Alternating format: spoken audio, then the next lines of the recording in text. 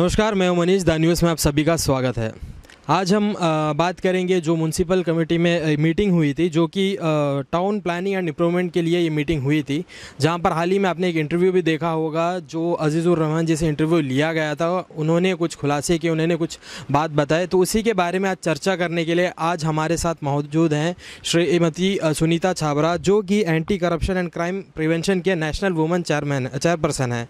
तो आइए चलिए उनसे बात करते हैं। नमस्कार मैम। नमस्कार सर। मैम इस बारे में बताइए आप जो कल मीटिंग हुई थी, उसमें अजीज़ुर रहमान जी ने एक न्यूज़ चैनल को एक स्टेटमेंट दिया था। तो उनका जो एजेंडा था, जैसे कि दूसरा एजेंडा हाईलाइट होता है details and proceeds of, procedure of building plan and approvals, इस बारे में आप सर सबसे पहले मैं ये कहना चाह रही हूँ कि अजीज़ुल रहमान ने जो इंटरव्यू अपना दिया था पर्टिकुलरली किसी एक पर्सन के लिए दिया था। जो कि जिनका नाम सुदीप राय शर्मा है। मैं ये पूछना इनसे चाह रही हूँ कि सुदीप राय शर्मा को अकेले ही टारगेट क्यों किया जा रहा है? अगर वो म्यूनसिपल काउंसिल है तो काउंसलर हैं तो उनको मुझे लगता है कि उनको आइलैंड के डेवलपमेंट के बारे में बात करना चाहिए। हाल ही में आप देखिए कोरोना के बाद में लोगों के पास काम नहीं है। और हमारे अंडमान में दो साल, ढाई साल के बाद में दोबारा सा ये काउंसिल बना हुआ है म्यूनसिपल का। इस वक्त लोगों के पास काम नहीं है। हर चीज़ की दिक्कत है। पानी, बिजली, इन सारी समस्याओं से हट करके ये सिर्फ़ अपने पर्सनल मुझे ऐसा लगता है, या मैं जनता को ये बताना चाह रही हूँ कि पर्टिकुलर अगर किसी एक ही पर्सन को हर तरीके से बोला जाए तो मुझे लगता है कि उनका कुछ पर्सनल अपना इंटरेस्ट है। वरना एक ही इंसान के ऊपर में बार बार ये बात नहीं किया जा रहा है। और एक वाइस चेयरपर्सन होने के नाते उसकी काफ़ी जिम्मेदारियाँ हैं कि अभी इस वक्त उनका वार्ड में आज तक उन्होंने किया किया। लोगों को ये बताइए कि आपने लोगों के लिए किया क्या? अगर आपने कोरोना के टाइम पे काम भी किया है तो अब जब उनके पास में इतना समय है काम करने के लिए, इतने, इतनी सारी फैसिलिटी दी गई है उन, उन्होंने उस टाइम पे सिर्फ़ सुदीप राय शर्मा पे ही टारगेट करके उन पे बात करना शुरू किया। जहाँ तक वॉयलेशन की बात रही है वॉयलेशन अंडमान के अंदर में, मेरे हिसाब से मैं मतलब आंकड़े के साथ बता रही हूँ। जैसे अजीज़ुल रहमान ने एक आंकड़ा बताया था 820 केसेस हैं जो वॉयलेशन के हैं वॉयलेशन बिल्डिंग के हैं। मैं अजीज़ुल रहमान से पूछना चाह रही हूँ, क्या ये आंकड़ा सही है? आपको मैं ये बताना चाह रही हूँ कि 2012 तक का मेरे पास, आप अपने कैमरामैन को बता सकते हैं, ये 2012 तक का मेरे पास ये सारा वॉयलेशन पूरी स्टेटमेंट है। आप इसमें से किसी भी एक पेपर को निकाल के देख लीजिए, मैं आपको बता रही हूँ, इसमें सारे वॉयलेशन है। इतना वॉयलेशंस वाली बिल्डिंग को छोड़ करके, आप एक आदमी की वॉयलेशन वाली बिल्डिंग अगर इनका वॉयलेशन है, अगर इनके बिल्डिंग प्लान पे कोई प्रॉब्लम है प्लान तो इनका है, लेकिन अगर अब अप्रूवल हुआ है तो जिस तरीके से हुआ है तो वो आप पहले पता कीजिए।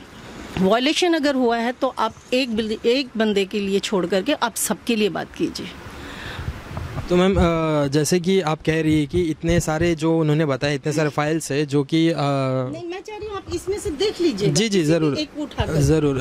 तो जैसे कि मैं ये कह रहा हूँ कि अगर इतने सारे बिल्डिंग्स जो वायोलेशन में हैं तो सिर्फ़ सुदीप राय शर्मा जी को क्यों टारगेट किया? जैसे कि उन्होंने कल कहा जैसे कि जो भी इनका पालिका पैलेस वगैरह हो गया है जो उनका बिल्डिंग बन रहा है जैसे कि उन्होंने ये इसके लिए बोला था जो कि एजेंडा एजेंडा नंबर थ्री है इनका detail of violated buildings in the municipal limit तो इस बारे में क्या कहें? देखिए सर वॉयलेशन के लिए जो जहाँ तक की बात रही है मैं यही कहना चाह रही हूँ कि अजीज़ुल रहमान जिस इलाके का काउंसलर है पिछले बार भी उनकी बीवी काउंसलर थी उससे पहले वो खुद काउंसलर थे उन वो पूरा फोंगी चौं एरिया वार्ड नंबर छः वो पूरा एरिया ही वॉयलेशन है क्योंकि मैं खुद वहाँ की पैदाइशी हूँ। तो मैं ये बात जानती हूँ ना तो उस ज़मीन का पट्टा है, ना कोई टाउन प्लान है, ना किसी किसी चीज़ की उसकी परमिशन नहीं है। उसके बाद भी बिल्डिंग बनी है और अजीज़ुल रहमान का घर भी खुद उसी वार्ड में छः नंबर फुंगी चौ में है। क्या उनका उनका बिल्डिंग में कोई प्रॉब्लम नहीं है? वो वायलेशन नहीं किए हैं? उनका कोई प्लान लिया है? म्यूनसिपल से उन्होंने कोई प्लान पास किया है? तो आप फिर बात कीजिए। देखिए, अगर आप किसी को एक उंगली उठाते हैं ना तो तीन अपने पास भी आती हैं। तो इस, मैं कहना चाह रही हूँ कि इस वक्त जो है हमारा मिलकर काम करने का, लोगों की हेल्प करने की इतनी सारी समस्याएँ उन पे ध्यान देने की, ना कि वो अपना पर्सनल गरज सिर्फ़ एक ही बंदे से निकाले। अगर उसे कोई प्रॉब्लम है तो आप पर्सनल बात कीजिए। आप लोगों को, अंडमान के लोगों को, जनता को बेवकूफ़ मत बनाइए। मेरा ये कहना है कि लोगों को भटकाइए मत। आपने क्या किया?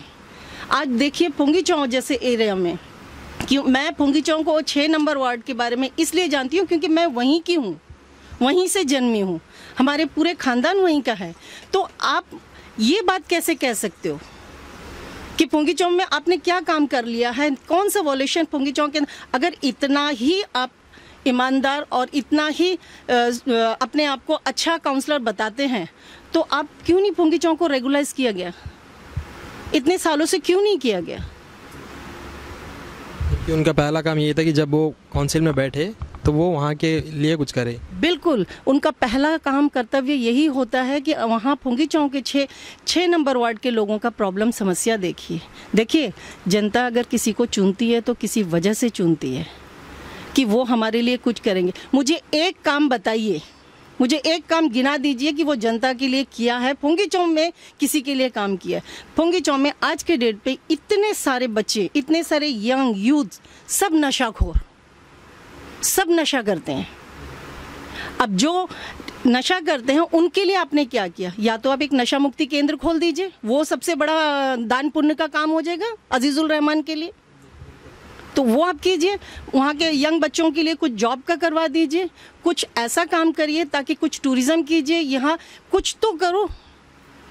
मैम आप बहुत पहले से जैसे कह रहे हैं आप पुंगी चौक में रहते हैं हाँ तो आपने देखा है तो ऐसा क्या हुआ जो लोग उनके ऊपर भरोसा करके उनको जीते? सर देखिए इलेक्शन का टाइम ऐसा होता है ये आप सब जानते हैं कि इलेक्शन कैसे करते हैं कैसे जीता जीता जाता है वो वो मैं भी देख चुकी हूँ। तो ये मैं नहीं कह सकती हूँ कुछ लोग जानते हैं कुछ नहीं जानते हैं कुछ को कैसे जाना जाता है कैसे लाया जाता है वो सारी टेक्निक हर किसी को पता है। तो ये जो है प्रैक्टिकली अगर देखा जाए तो ये टेक्निक से ही जीता है। ये मैं कह सकती हूँ ये मेरा अपना पर्सनल ओपिनियन है। जैसे कि वहाँ के लोग खुश नहीं हैं ये करके भी नहीं ना इनकी कोई आप मुझे बताइए कि अगर खुशी किस बात से होती है? आपने अगर उनके लिए कुछ किया है आप रेगुलराइज कराइए।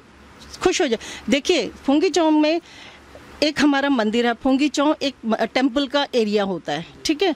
और वहाँ उस मंदिर कमेटी का पूरे हमारे यहाँ बर्मिस बुद्धिस्ट एक मिशन होता है। उस मिशन में मैं अपने कमेटी की वाइस चेयरमैन हूँ। हमारे बर्मिस बुद्धिस्ट मिशन की, ठीक है? तो मुझे ये बात इसलिए मैं दावे के साथ कहती हूँ क्योंकि ये मुझसे रिलेटेड बातें हैं। और मैं कई बार इसको रेगुलाइज करने के लिए और बहुत सारी चीज़ें वहाँ वहाँ की अवस्था को ठीक करने के लिए मैंने बहुत सारी कोशिशें भी की। पिछले दस साल से भी की हूँ। ये बात अजीज़ुल रहमान को बहुत अच्छी तरीके से पता है क्योंकि हर मंदिर की मीटिंग पे भी उसे बुलाया गया, लेकिन उन्होंने अपने सामने सिर्फ़ अपना काउंसलर पोस्ट को ना बरकरार रखने के लिए उन्होंने लोगों को ये कह दिया कि ये जो है, जगह को तुड़वाना चाहते हैं, लोगों को मतलब ये लोगों को भड़काने का काम कर अलग से टारगेट किया गया? ये हर टाइम पे किसी ना किसी पर्टिकुलरली ये बंदा एक किसी एक को टारगेट किया जाता है।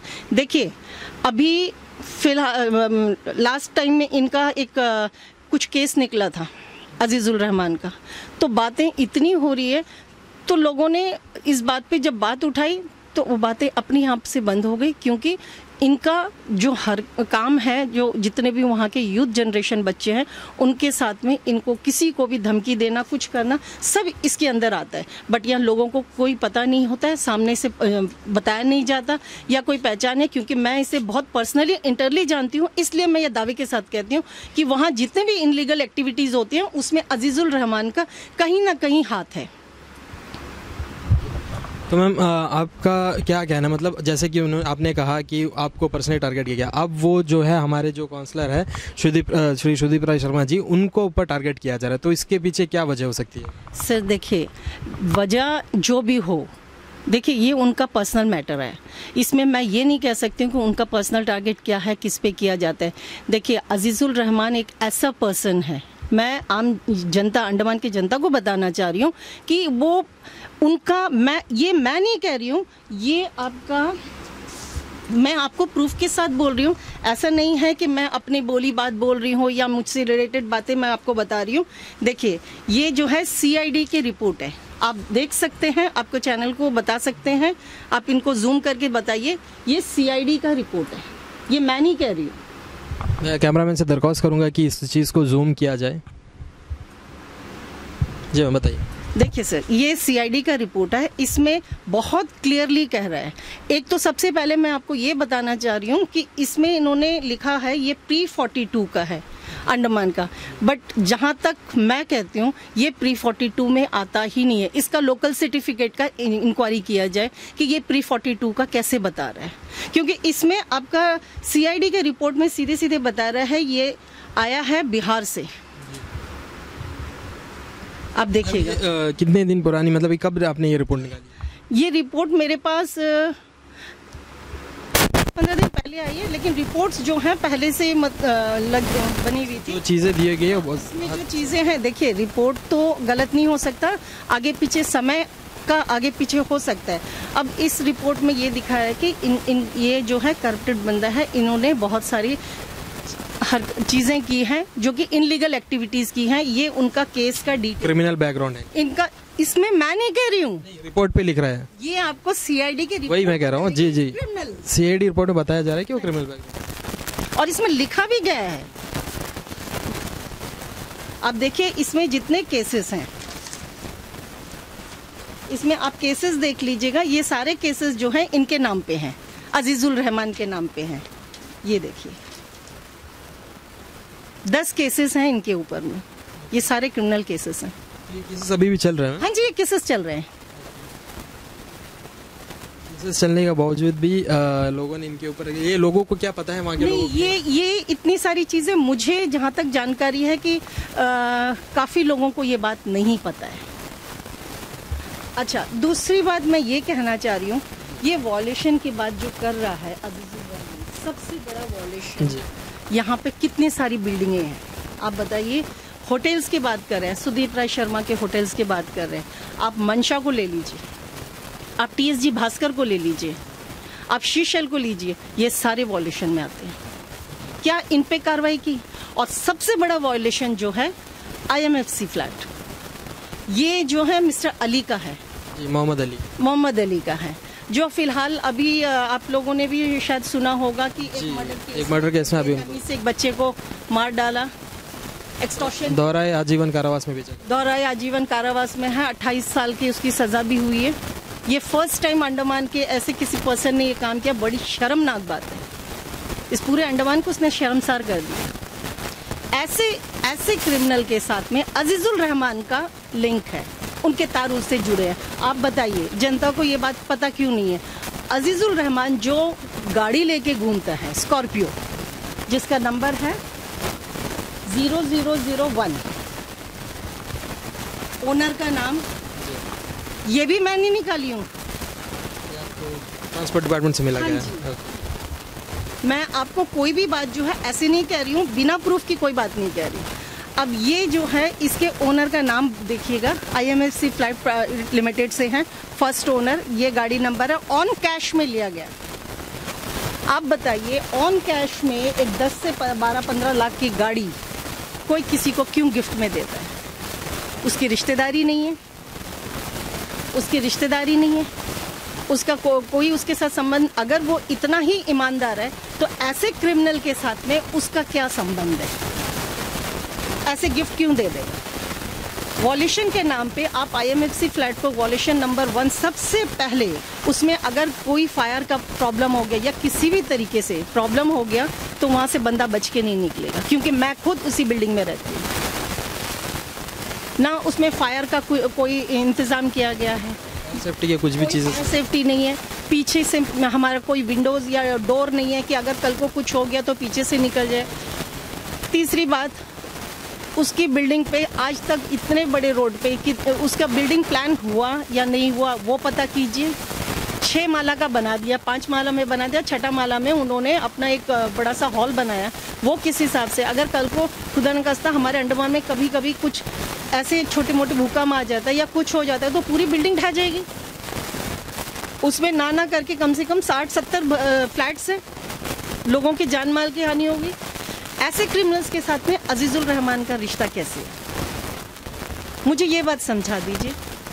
सोचने वाली बात है मैम कि अगर दिया गया हो या तो उनका कुछ काम किया होगा या उनका कुछ खास खास, खास रिश्तेदार या खास संबंध होंगे।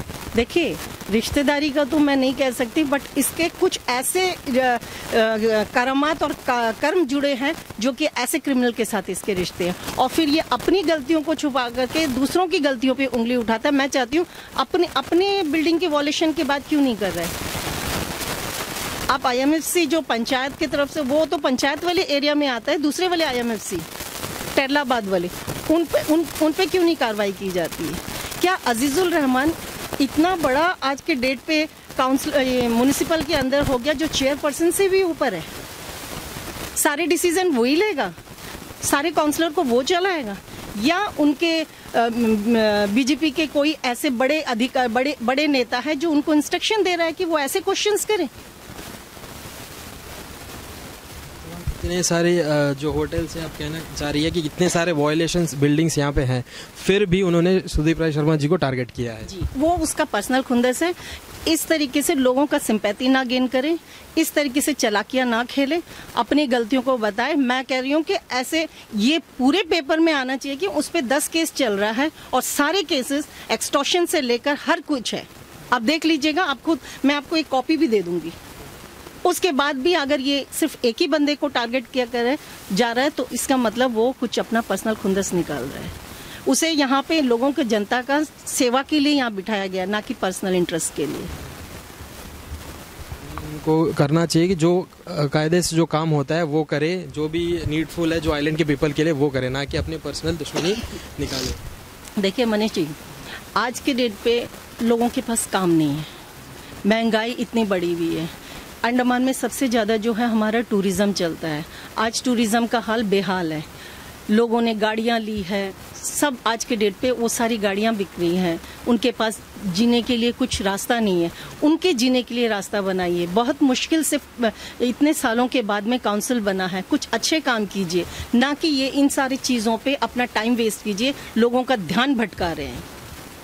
बेरोजगार बच्चे भी हैं। बेरोजगार बच्चे हैं जिनके पास काम नहीं है। आप दूर की बात मत करो आप अपने ही छह नंबर वार्ड के बच्चों को एक बच्चे को काम पे लगा के बात कीजिए मैं मान लूँगी किसी एक बच्चे को किसी एक को नशा से छुड़वा दीजिए मैं मान लूँगी कि अजीजुल रहमान एक अच्छा काउंसलर है। छुड़ा के दिखाइए। हमारे यहाँ एक कहावत है जो जख्म देता है वो दवा नहीं देगा। अब इस बात से आप समझ जाइए कि मैं क्या कहना चाह रही हूँ। और इसके आगे के चैप्टर में दोबारा आपसे मिलूँगी, तब ये बात करूँगी। तो और और मैं ये भी आपको, आपके चैनल के माध्यम से एक बात और कहना चाह रही हूँ। यहाँ ऐसे बहुत अंडमान के अंदर में कुछ यूट्यूब चैनल सिर्फ़ अंडमान के लिए जो काम कर रहे हैं। मैंने ये चीज़ देखा है कि अगर कोई सच्चाई बताता है तो या तो उसको ब्लैकमेल किया जाता है। ऐसे कुछ एक चैनल है। इस पे भी मैं डिस्कशन करूँगी, बिना प्रूफ के मैं कोई बात नहीं करूँगी। नेक्स्ट जब भी हम बात करेंगे तो हम प्रूफ के प्रूफ को लेकर के, मुद्दे को लेकर के बात करेंगे। क्योंकि ऐसे अगर सच्चाई दिखा दो तो उस पर उनको कहा जाता है, उनको फ़ोन किया जाता है। मतलब जिनको भी है, जो भी चैनल है। लेकिन ये जो है मुझे नहीं लगता कि ये एक सही तरीका है। अगर कोई सच्चाई बता रहा है तो इसका ये मतलब नहीं, वो अपनी चीज़ों को सही कीजिए। ना कि उनको बदनाम कीजिए, ना उनको ब्लैकमेल कीजिए। ये एक नया अंडमान में नया सिलसिला शुरू हो गया ब्लैकमेलिंग का। तो इन चीज़ों से मैं चाहती हूँ कि बच के रहिए और ये जो जिस तरीके से ब्लैकमेल करते हैं, उन सबको मुझे लगता पनिशमेंट मिलना चाहिए, उनका लाइसेंस कैंसिल होना चाहिए, ऐसे चैनल्स के।